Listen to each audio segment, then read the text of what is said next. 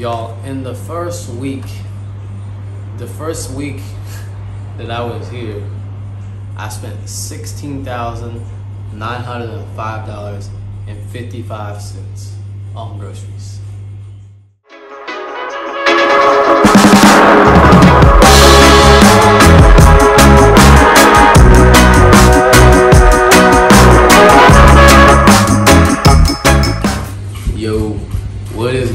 Peeps? Dizzy with the locks, once again back with some wonderful, helpful news and tips on how to live in Jamaica. Y'all, before I even get started on today's topic, make sure if you haven't already that you go ahead and smash that subscribe button. Please like the videos if you guys are. I, might get myself please, of course, like my videos if you guys are actually rocking with me. Of course, you can always turn the notification bell on. That way you can know when my next videos are posted as well. Leave a couple comments if you don't mind. And of course, share my videos. Because we want everybody to be well equipped. And I will keep saying well equipped until I no longer can equip you guys with the knowledge that I have up here. Cut. Alright, cool. We done. Alright. All right, now that we got that whole entire intro over, y'all, uh, today is gonna be a little bit different. My video, I, I can't sit like that. That's uncomfortable. Why you guys keep telling me to sit? it's like it's, the cameras only got like certain angles and stuff like that. Is this is, is that camera on too? That that one. Can, can can you turn that one on? No, no, angle a little bit. Angle a little more. No, turn the camera towards facing the wall. Yeah, because only needs to be one camera on me. I don't need multiple angles. You know what I'm saying? It's conflicting.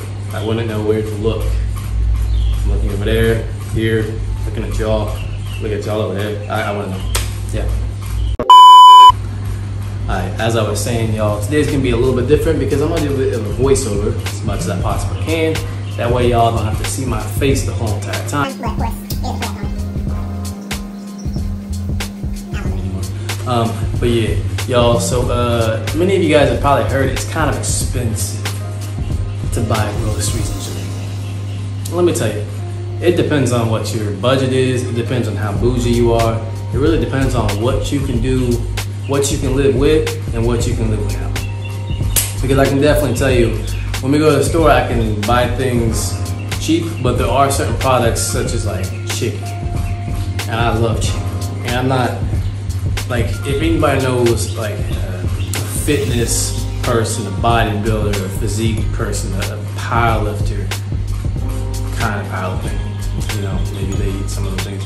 But for the most part, chicken is like almost the the staple: chicken, rice, potatoes, pasta. Like we have to have a protein source, and chicken just happens to be the leanest. And that's one of the things that I've kind of ran into an issue with down here, is it's kind of expensive, especially if you want to get like you know, boneless chicken breast, pretty expensive. Uh, but I'm gonna give you guys a little bit of snapshot on what it's like to actually shop. Um, these are a lot of the products I have bought because I'm pretty simple. And Even when I was in uh, when I was in Cali, uh, I was in San Diego, uh, I would only spend probably about thirty to forty dollars a week, and that's because we had a grocery outlet, we had uh, Food 4 Less, we had Ralph's, um, and all those offer pretty discounted uh, prices, as well as if you want to go like Dollar General or something like that. So I, I got discounted prices on a lot of things, so I can get things that bougie for half the price, especially at grocery outlet. Shout out to grocery outlet, bargain market. For anybody who knows what I'm talking about, you know what I'm saying. But yeah. Anyways, y'all, enough with the chitter chatter. I'm not gonna lie, y'all. When I walked into the store the very first time, uh, nothing really like caught me off guard. I was probably more caught off guard at the fact that it looked and resembled the exact same way as, let's say, like a Ralph's would in the states, or like a Walmart would in the states, or like an H-E-B would. I think that's what it's called in the states. Like 100%, y'all, when I tell you that when I went through, if you were to go around the perimeter of this whole entire store, you could grab everything that you would need to supply you a nutrient dense diet. But not only that, you would be able to get some other things to add as kind of um, luxury as well. Now the prices in here, uh, I have a lot of snapshots, just you know pictures and stuff, so you guys can get an idea of it. The prices are pretty reasonable. I think that the import tax does increase some of the products that they do have in here. But with that being said, it's nothing. It's not too reasonable of a price.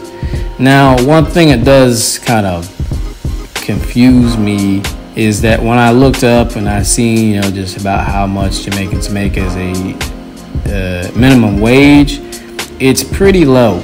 Um, because a lot of these products, if I were to buy like let's say one bottle of wine or to buy like two cartons of chicken, already I've already reached my week's like max of how much I can possibly make in a week on minimum wage.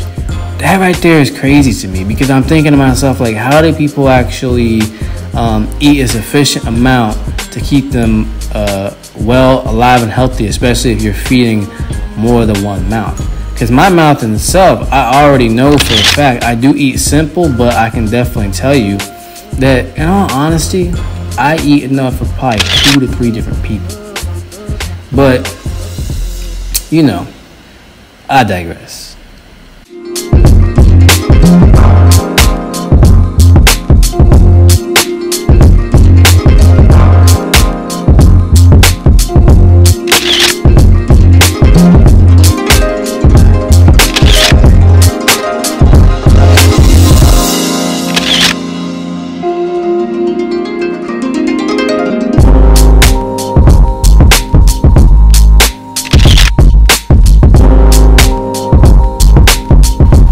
Just basically say that uh, for the most part, you know, you got people in here, the carts are full. The area that I was in specifically was probably a little more touristy because a part in Mobay that uh, I did see a sprinkle here and there of, you know, white folk or something. And I know that in most other places, you're not really going to see too many white folk. And I'm not saying white folk like they've been living there. I'm talking about like they don't even look like they even dress like they live there at all. So I can tell in a way that you know some of these people will be tourists um, and everything, and you know some of these prices may be marked up a little bit, but this is a pretty good idea because if you're going to be staying in any place, you you obviously want to be in a place that you're a little more comfortable with at the same time. Uh, but just know and be aware, uh, be smart. You know, take a calculator if you have to. I mean, most phones have calculators on them. Make sure you have your conversion, add up the numbers, make sure everything looks right, make sure you guys are getting the right quantity of what you want, make sure you guys are getting the right quality of what you want, because if you don't, that could be a problem. Um, I can tell you some of the times I get paper towel, toilet paper is a certain brand that it's like it just falls apart when I look at it, and I was pretty um, upset about that.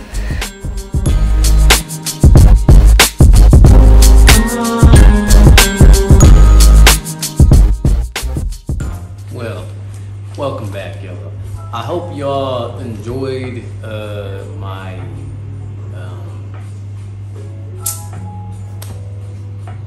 you know glimpse into what it's like to shop in a uh, Jamaican grocery shop. Uh, that was Progressive Foods. yeah, that place is called Progressive Foods. That one just happened to be in an area that that's in Mobay. Uh, and you know that's a place I've been going to shopping. It's closest to where I'm at. It's where my gym's at. It's like an hour walk from me, which I like to walk a lot of places. But it's probably like a 15 minute drive from where I'm living at right now. Um, again, I didn't really go through like I was giving you guys an idea of what you know random products and stuff like that spread throughout was some toiletries, some food and stuff like that. But again, if you all would like to actually see me do like a whole entire grocery list, I can do that. But like my grocery list is a little different. Like this is the first receipt that I got. I'm a receipt saver. It's very smart because it keeps track of things and you all don't save receipts, take pictures of them or something. Um, the first time I spent ten thousand six hundred forty dollars, and then I spent six thousand two hundred sixty-four dollars like two days later Y'all, I spent in the first week of going to the store, I spent seventeen to eighteen thousand dollars. Actually, I want to do the math on that real quick. Alright, so let's do the math on this one here. We got 6, 2, 6, 4.6 plus, I was gonna say, 10, 6, 4, oh, Alright, y'all, in the first week, the first week that I was here, I spent sixteen thousand nine hundred and five dollars and fifty five cents on groceries. That's way too much. Um, when you look at that, that comes out to around a hundred dollars.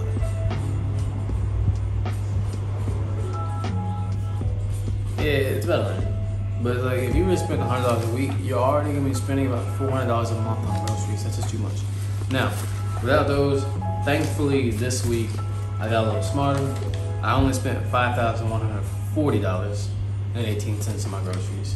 With that being said, y'all, it's just about making a grocery list, sticking to it, budgeting, and knowing exactly what you're gonna buy. Same exact thing you guys do in the states. Just know that some foods, like chicken, is a little bit more expensive. You know, meat's a little more expensive and stuff like that, but y'all can make it work out really. It's really not that hard to make it work out. You just gotta be smart with it, you know what I'm saying? Just be smart with it. Y'all, thank you for rocking with your boy. Of course, make sure to subscribe, hit the notification bell so you guys can get notified whenever I have a new video come out. Make sure you guys go ahead and tap that like button. Of course, you can leave a comment or two if you guys have any questions, comments, uh, concerns, or any type of suggestions, or you just want to say hey and say what's up to me, you can do that as well. And of course, send me videos because you know, like I said before, I ain't even gonna say it once again. So, Dizzy with the locks, over and out. Peace. To love myself again. Yeah. For all the things I didn't know, the pain, the hurt, I let it go.